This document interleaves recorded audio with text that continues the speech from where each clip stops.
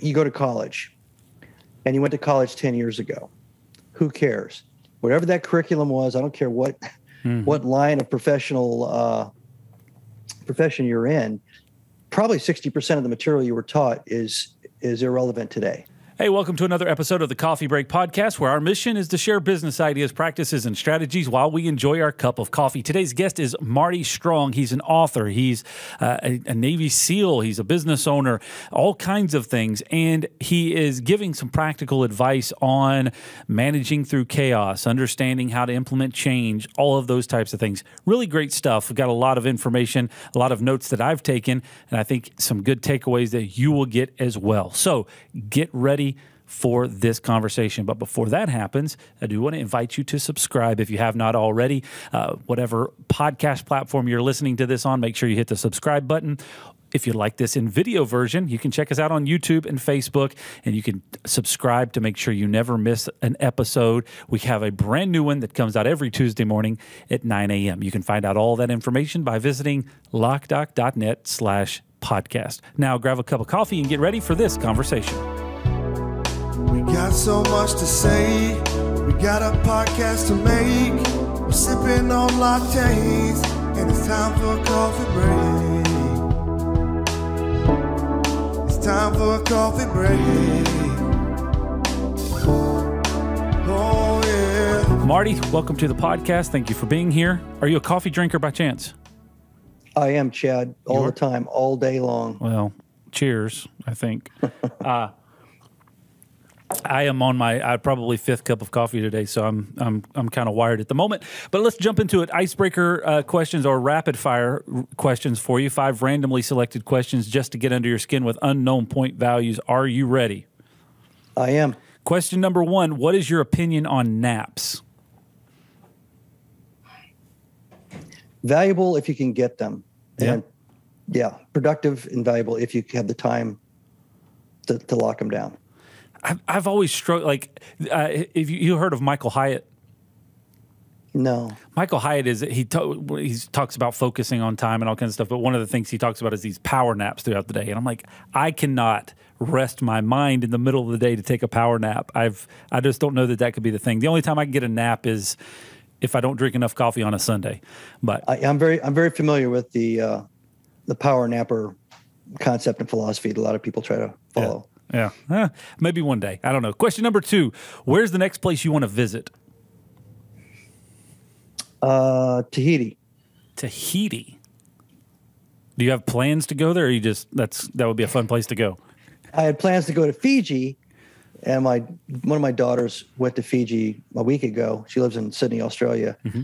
and so now I've seen lots of pictures of Fiji so now I think I'm going to shift to Tahiti. it's still an unknown. I've been to fo- over 40 something countries in my life and lots of tropical places. Lived in Hawaii as a teenager, so there's not a whole lot of places that I haven't been, but Tahiti's one of them. Cool. I like it. Question number three Do you have any unusual fears? I have a fear of not contributing anything of value. All right. That's pretty deep. Yeah, well. I spend all day trying to contribute something of value, either in my own uh, personal world, my family, or, or my business. Yeah. Well, that would that, I could see that would be a fear if you weren't going to hit that. Uh, let's see here. Question number four: What do you consider the most difficult food to eat?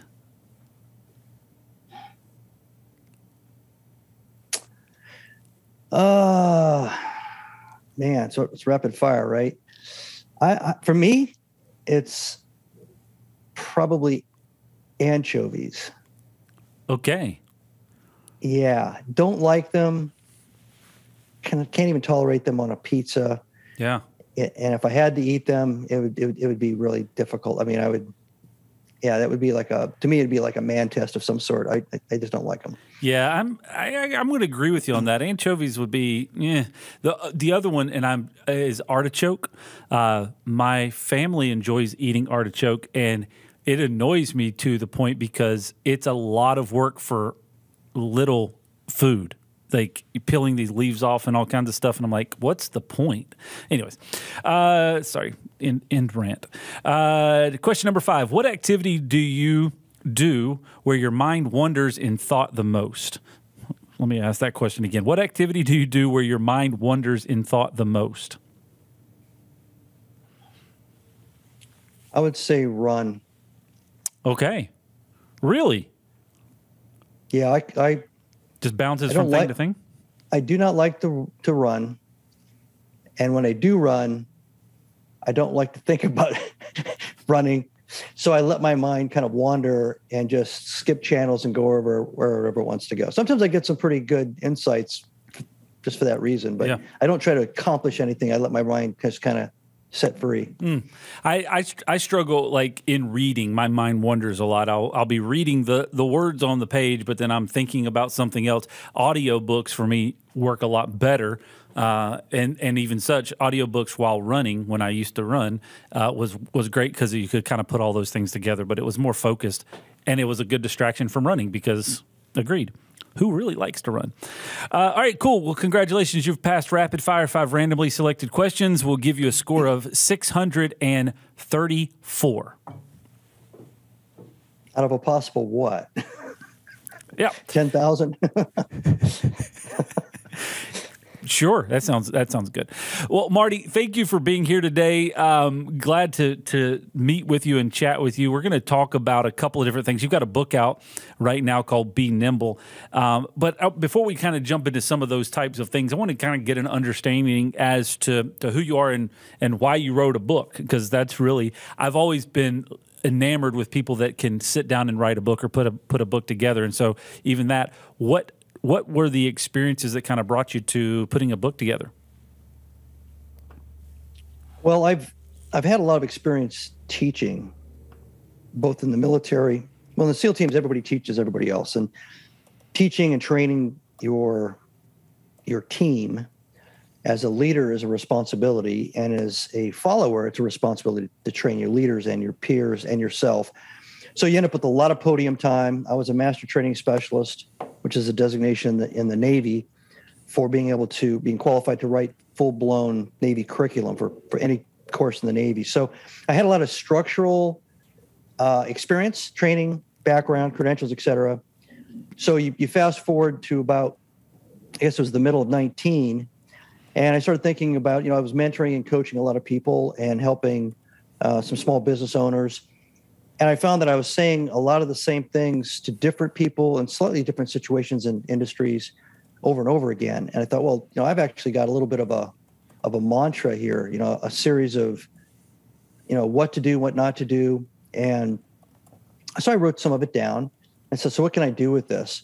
And eventually I decided that I was going to write an article. And then the idea of the article kind of grew into why not a book? And so I took about two months to try to figure out what I wanted to do as, as an end goal for the book. Mhm. You know, did I want it to to inspire? Did I want it to motivate? Did I want it to educate? Did I want it to be technical? Uh, did I want it to have lots of tips and tools? You know, all those kinds of things. And once I figured out what I wanted, which was essentially for the reader to experience what it would be like to go through a mentoring session on each of the topics that I address in the book, more conversational in nature and less textbook and less academic. Because I like books like that. I like Malcolm Gladwell. I like I like books that that teach through metaphors and through analogies and, and sometimes through parables. And it's it's a comfortable way to learn. And if the insights are are solid, then it's a great a great way to impress upon people whatever your insights are. It doesn't just fly over the top of their head because it's boring to read. So that's what I decided to do. That's why I decided to do it. And be nimble is essentially is codifying a lot of those lessons I'd learned and that I was passing on to people kind of randomly over a period of years. It's uh, I like that concept, you know, with especially once you have a lot of experience, and we're going to kind of talk through some of that here mo- momentarily. But you have that experience, and then you start to kind of piece eh, what has worked, and and especially when you've been able to talk with other businesses, you can kind of start to see some trends there and be able to put that in a book. It's it's awesome. I've always admired people that can sit down and put their thoughts into books. Just to kind of play a little bit on the the question side, there are so many business books out there right now. What is what is one thing that you have kind of seen is, that yours opens up people's eyes in a little different way than your traditional, you know, uh, your traditional business book that says you need to have people, processes, and products to to be able to make something work. So I, I kind of took it, I took a different angle. Um, you know, in IT, website development, et cetera, everybody talks about user experience, right? Mm-hmm. So, what kind of experience did I want to have the reader go through? And I was kind of targeting aspiring readers, excuse me, aspiring leaders mm-hmm. and current leaders. And most most aspiring leaders and, and current leaders are challenged so one i had to look at what kind of challenges i think i would put at the front of the list mm-hmm. that had the most value in discussing um, second you know what, what's the mindset of somebody who's being challenged you know are they terrified or are they just you know fearful of failure or are they just kind of in general looking for an edge or just a little bit you know of an improvement so i went through that a little bit and i thought you know people are pretty much either optimizing their their behaviors as leaders all the time mm-hmm or they're in some kind of trouble and they're trying to figure out a way out. So mm.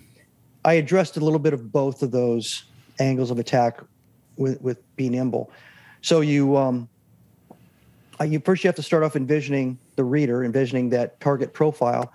And as I said earlier, I wanted the book to be read and to be used as a, a collection of tools and tips, techniques, um, some philosophy, Mm-hmm. And also a very clear understanding of those things that did convey from my experience as a special operations officer that can be applied in commercial enterprises and you know profits nonprofits by leaders yeah. to to succeed and deal with challenges. And so I think I wrapped all that up in there. From the feedback I've been getting from the book, I, I and I used beta readers. There were other CEOs, executives as I was writing the book to make sure I stayed true to that format and to that end goal. And I think I think from what the response is, um, it hit the mark. I recall, and, and that, I, that's very intriguing um, direction, especially from a from an audience perspective. I recall years ago when I picked up my first book to start learning about leadership. I was in the mode of I feel like I'm a bit overwhelmed. I feel like I'm kind of hitting some dead ends. I feel like I'm frustrated because things are not working exactly like I want them to, type thing, you know? Um, and the first book that I picked up uh, that started to open my eyes up a little bit differently on the kind of whole concept of leadership was a book called Turn the Ship Around by David Marquet. Um, and it was very much a lot of what you're just talking about is um, it's kind of an aspiring leader and also kind of frustrated with the current process. What do I need to do to change some things? Uh, you talk a lot, um, you know, through uh, through your concepts here about kind of leading through chaos and um, going through that process. I just from a perspective uh, defining chaos because I think the world has been in chaos over the last couple of years, um, and there's a lot of those types of things. But I think that, and, and this is me, I guess, asking a question your business could be in chaos regardless of what's happening externally in the world just because you've maxed out your uh, your processes you've maxed out your uh, your leadership skills or kind of the ability to take it to the next level when you talk about leading through chaos, are you specifically talking through external chaos? Or are you talking through, uh, or could it be applicable to both? Both. in the case of internal chaos or crises, as perceived by the, the organization, the mm-hmm. members of the organization, you might have been the person that started it. if you, and I, I consulted with a company a while back, if you walk into a room of senior managers and say, we're going to double the gross revenue of our company in the next 24 months. Mm-hmm. Now, what you've just done is you've thrown a gauntlet down, and and there'll be a couple people in the room that perceive it as a challenge, and maybe even get excited about it, like it's about time. There'll be a couple that are kind of neutral, and then there'll be a couple that say, "Oh hell, what's going to happen to me? I don't know if I can do this." And so you get lots of different reactions and then you say go execute that's the strategy for the next 24 months and there'll be more more information provided but you know with targeted goals and metrics et cetera new kpis whatever but what you've just done is you've just taken a you know a perfectly you know, stagnant, settled, comfortable place, and you've thrown a grenade into the middle of it, Mm-hmm. and you own that, right? Now you may not have done it. Maybe your board of directors told you to do it. Maybe, you know, there's some other reason for doing it. But, you know, when you have to reinvent yourself as a business because it's the right thing to do strategically as a business, that's usually an internal process.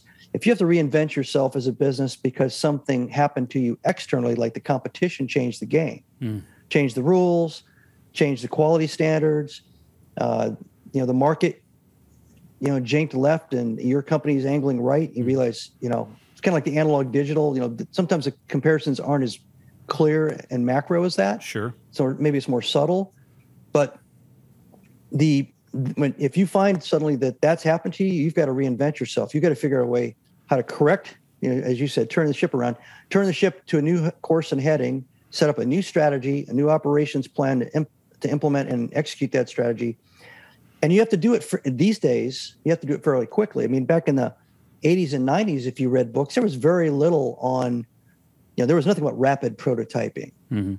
you know you, you you built the thing until it was perfect and then you put it out. Now you can't do that because if you wait that long your your product's a moot point. Sure. so the, the competition already leapfrogged you and and, and took you out. So the same thing with moving an entire company the entire company has to stay light enough nimble enough aware enough to handle a self-imposed change Yeah.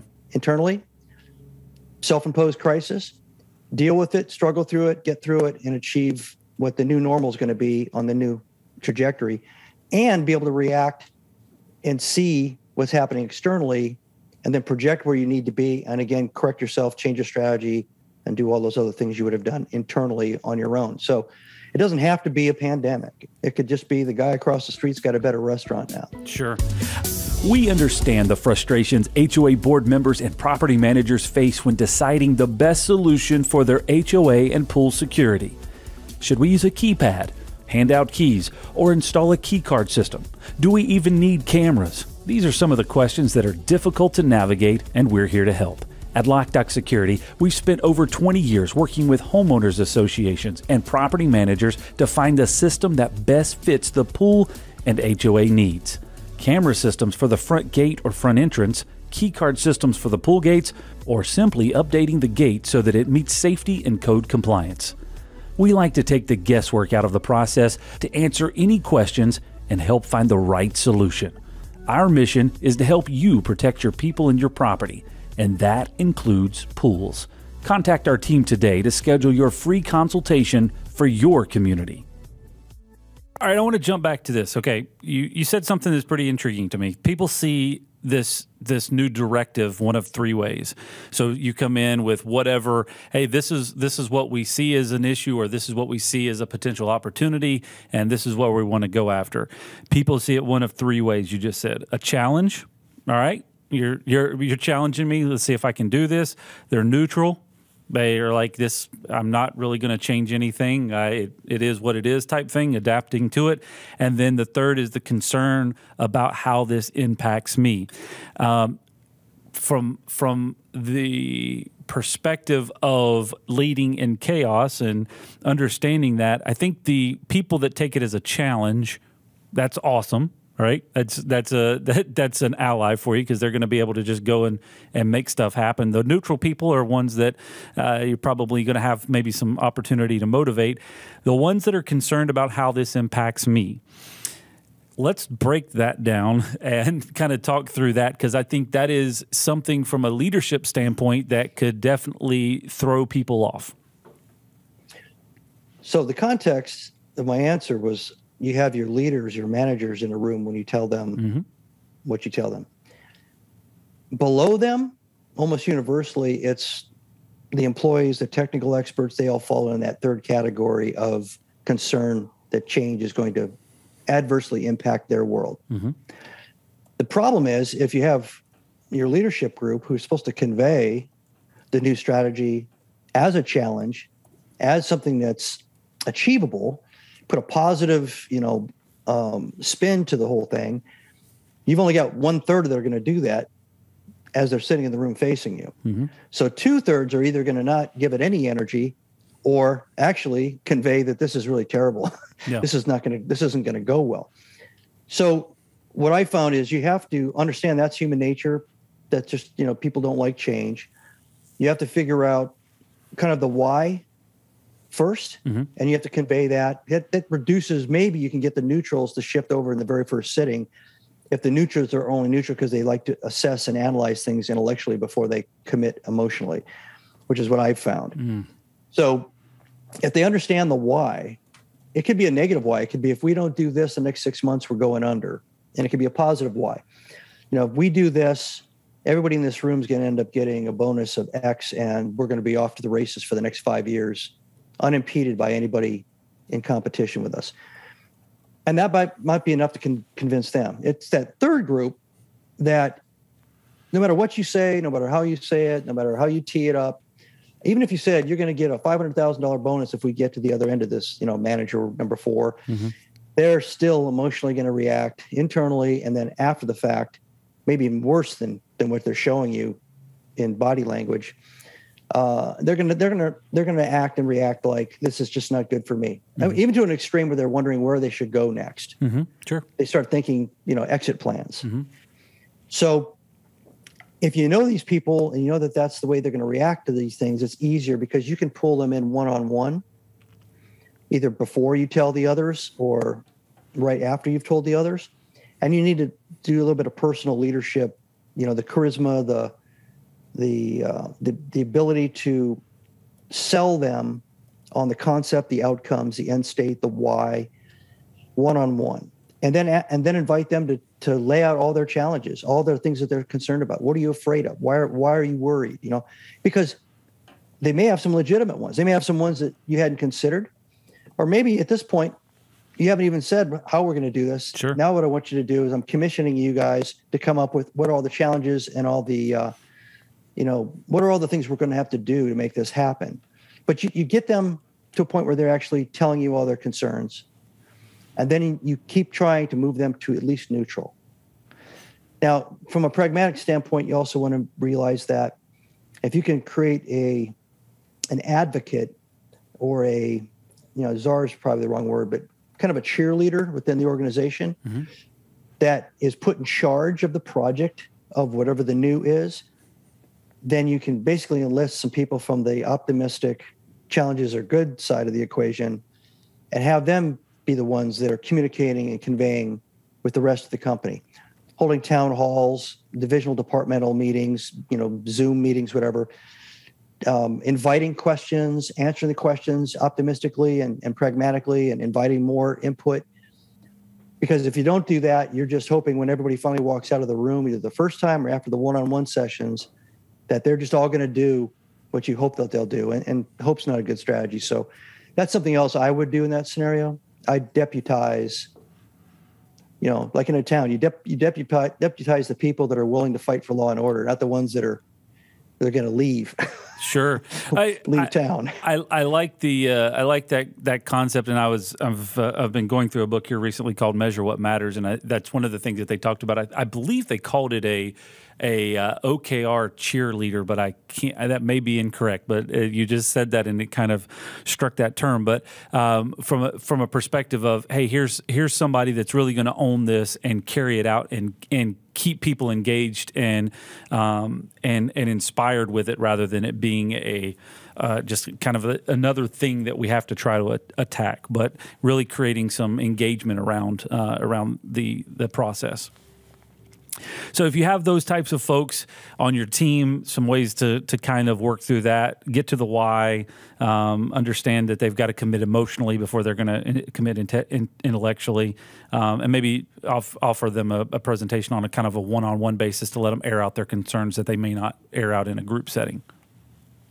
correct all those things and it's one thing that you learn going through the first part of the basic seal course uh, that has all these scary kind of movie movie worthy events like hell week et cetera is you need to gravitate towards the people that have an optimistic upbeat view even when things are really bad Mhm. They tend to be the same way when things aren't really bad but they're it's funny they, they actually get activated when things are bad, when things when you're in in harsh Mm-hmm. conditions and SEAL trainings that way. There are people that will gravitate towards people that see everything as bad, everything is terrible, everything's harsh. And having watched as an instructor, a SEAL instructor, seeing the gravitation of these these populations, you start off with like 120 students and see they start to gravitate to people that they see as, as either emotional allies, positive or negative. And by the second or third week, they've all kind of broke into their little groups and cliques. And anybody associated with the negative approach, you know that pretty much all, if not, you know, most of them are going to be gone Hmm. in the first six or seven weeks of the course. They're going to quit. They're going to be convinced to quit. There'll be no reason not to quit because there'll be and there'll be a lot of intellectual arguments that they should quit by other people that they're hanging out with. So it's kind of like if you're not a flat earther, but you hang out all day long for weeks and weeks with flat earthers, you're suddenly a flat earther. Mm. And uh, and human beings are that way. They want to gravitate towards somebody that makes them feel like the world makes sense. The exact opposite, if you see somebody that's that's laughing when things are really bad, that are that are trying to help the the person next to them that's faltering, Mm. that's that's really high positive energy. And I've seen that outside of the outside of the military. I've seen that in all walks of life. I've seen it in business. And those people are what they would call in the military a force multiplier. You could take one super positive person and stick them in the middle of 30 kind of neutral to negative people, leave them there for a couple of weeks, and you you completely flip the flip the scales to the positive side. Both positive and negative influence are both effective and you have to you have to lead and manage that especially when you're, you're involved in in making changes or reacting to the dynamics of external change valuable advice. Um, I, I very very valuable advice. Uh, years ago, uh, we had several folks in our organization that I'd learned over time when we would make presentations in front of a group setting. If they had reservations about it, they would publicly challenge it. And so, for you just said, you've got a uh, force multiplier in either way. Um, so, what I learned through that process was those particular people, I would bring them as you just kind of laid out here, present it to them one on one. Hey, here's here's what we we want to try to accomplish. Let me know what what things we're missing. Tell me what's what we're missing about it, and go through that process. And because they heard it and they were able to air their challenges, then they afterwards they could we could adjust or modify and make sure that the plan was applicable and then they were some of the biggest allies for that. They were the biggest advocates for that because they they understood it and they believed in it. Um, so it's very very uh, valuable advice on um, on that side of things. Can you copy this key?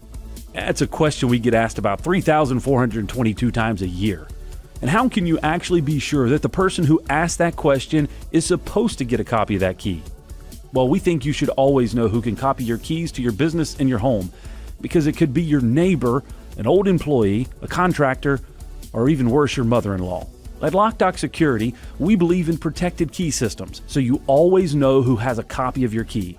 To find out more, visit lockdoc.net or stop by our Charlotte location. Loc-Doc Security, helping you protect your people and your property. Something that we, you mentioned before we got started was about staying intellectually humble uh, when it comes to uh, managing through chaos or leading through chaos or uh, leading through disruption. Walk me through that process. What is what is what does that mean from your, your perspective?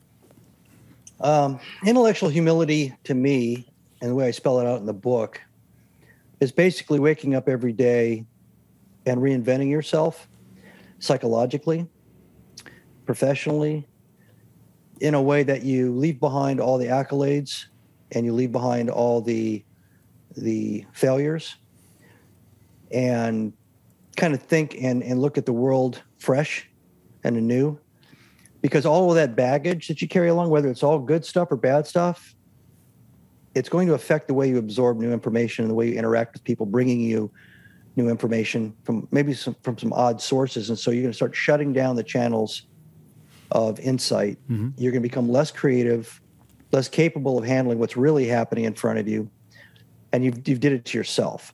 So, for example, you go to college, and you went to college ten years ago who cares?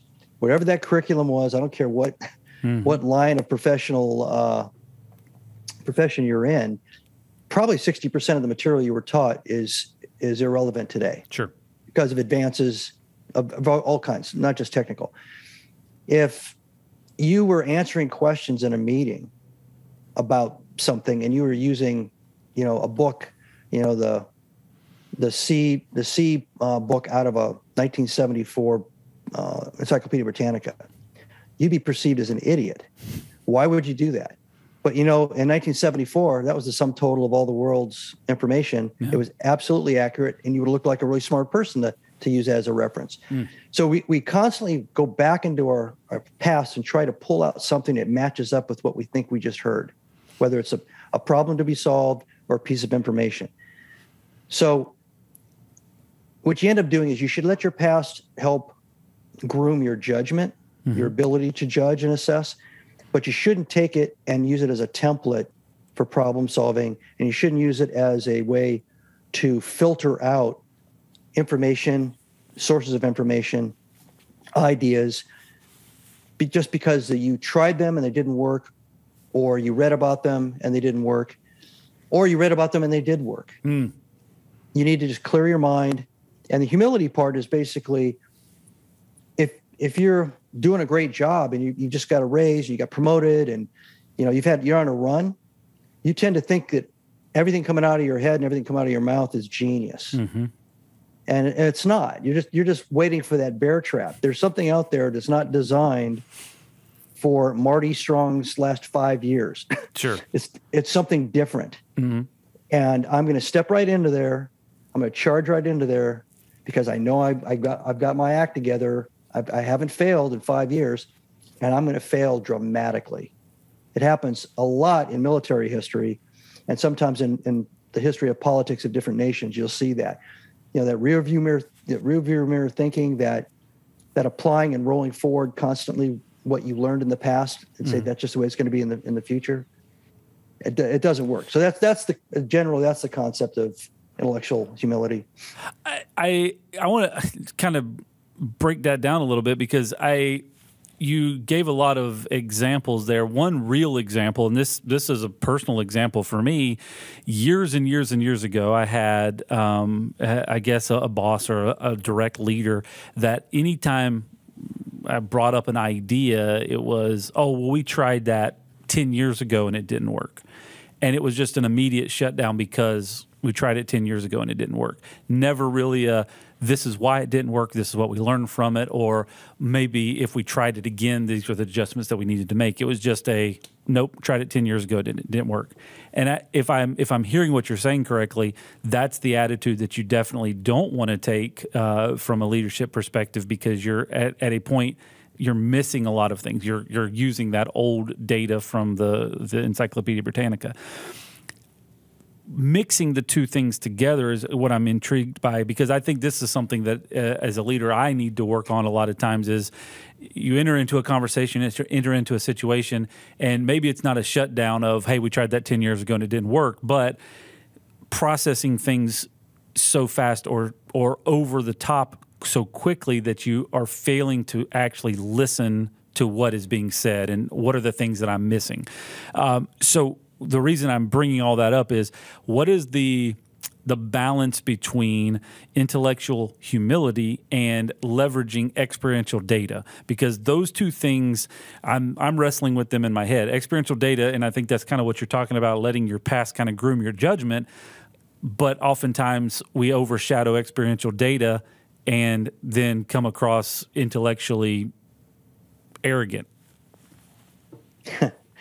Yeah. Well, I, don't know if there's a, a, perfect answer. I think, you know, I I tend to think about leadership as my my subject matter. Mm-hmm. Leading is not the same as managing. I think managing you have to know a lot of technical information. You're you're basically responsible for existing systems, processes, people, procedures, etc. Where leadership kicks in and management kind of stops is when those underlying and supporting systems, processes, and people fail or fail dramatically, usually in the face of some kind of a challenge. And it doesn't have to be as dramatic as an airplane crashing for a leader to to be required, but Hmm. you can't manage your way out of a system and people failure scenario. You have to step back and and that's the time where you rethink what you've been doing. Rethink if that's even the system you want going forward. Is that the, are those the people that you want going forward? That's different than managing. That takes insight. That takes the ability to look forward, Mhm. to, to model out different outcomes. And if you were not going to kind of drop the baggage at your feet of what your past experiences were, you wouldn't get anywhere other than just doing what you had before, just replacing the people and just fixing the system and move forward. Mhm. So I think, you know, in, in the military context, when I was a leader, the judgment that was built up over time was based on a failure of information ex- that was given to me actually turning out to be true on the target. So you you train, you prepare, everybody tells you what the target's going to be like. They give you a history lesson, they give you a cultural lesson, they tell you about how many bad guys, what they're armed with, what they're going to probably do if you show up, what they're probably going to do if they don't know you're there. You know, do the doors open in or do they open out? A massive amount of technical information about what is. Mhm. And 90% of the time on a special operations mission, you show up and it's not like that at all. So if you were to execute based on what everybody spent, you know, a million dollars preparing you to to uh, deal with, Mhm. you'd fail. And so what you end up doing is you take all that into account.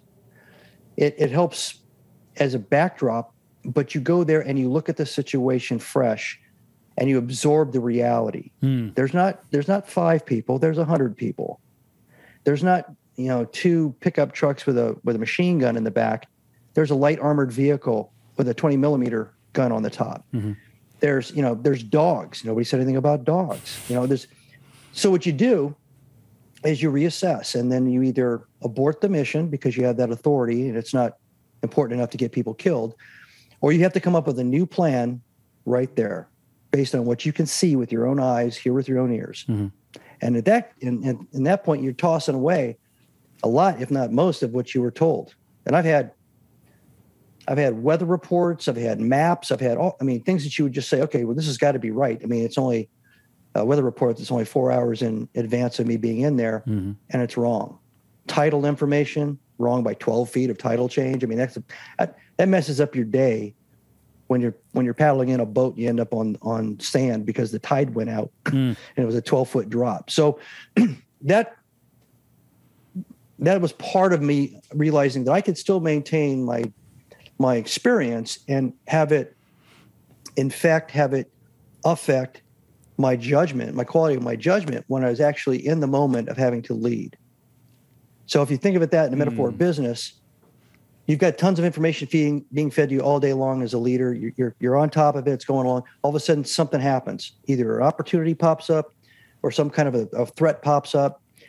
And you could just sit there and say, well, I already know everything I need to know because I've got all this information I've been getting every day.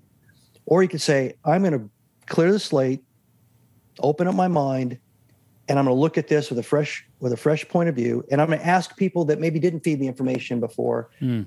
you know, tangential experts, people that that I wouldn't normally talk to.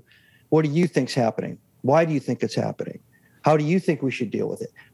And then you make a judgment. Yeah. No, it's it's valuable. I, I, I and even on that point, right? I think that's a good way to kind of close out this conversation. Understanding the difference between management and leadership, understanding when when a, when a process is not working and what to do at that point. Stepping back and uh, effectively asking that the question is is the way I'm hearing you say it is what am I missing, um, and and kind of starting fresh. What do we know to be true? What do we know to be uh, not true? And then what am I missing here? And and getting that information from the team that's that's actually uh, living and breathing it every day. That's that's very very valuable advice. Yeah, I think so. And, and I mean, it's hyper accelerated in combat. It's still the same process. It's still, this isn't what I thought it was going to be dump, look, listen, make a decision, go.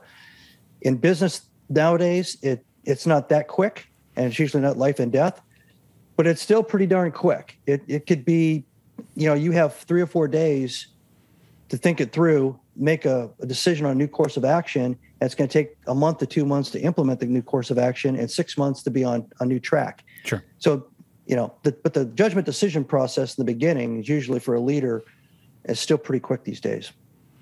Very good advice, Marty. Thank you very much for joining us today. Uh, we've covered a, a, a, plethora of topics, and um, uh, obviously, you've got some uh, a book to to check out that I would definitely recommend uh, looking into. You can find out more uh, at martystrongbenimble.com, and we will link that in the description below. And I'm pretty excited to uh, to learn more about this and maybe chat with you again in the future. Marty, thanks again for joining us today. It was a blast. Uh, man, tons of information, tons of notes here, uh, things that we can actually implement in uh, in our business, and uh, appreciate the challenges that you've offered up today in ways that I can try to work on being a better leader as well. Those of you that are listening or watching for the first time, we invite you to subscribe. We have been doing this for over three years. We've got tons of episodes uh, for you to check out with similar type topics. You can find out more by visiting lockdoc.net slash podcast and make sure you subscribe because we have a brand new episode coming out next Tuesday morning at 9 a.m. Thanks for joining us, and we'll see you next time.